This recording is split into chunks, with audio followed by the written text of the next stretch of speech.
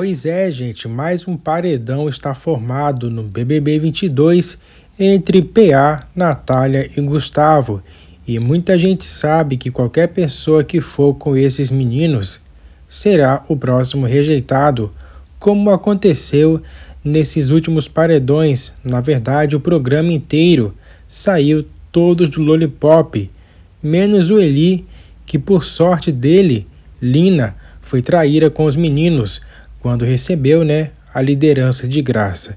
Então, nas enquetes, Natália vai sair com mais de 83% dos votos, PA só vai ficar com 4% e bem atrás estará Gustavo com 11% dos votos apenas.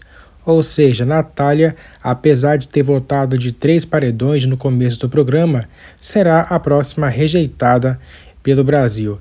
E vocês, Acha que ainda pode ser que Natália fique ou Gustavo saia? Deixe nos comentários sua opinião e até o próximo vídeo. Tchau, tchau.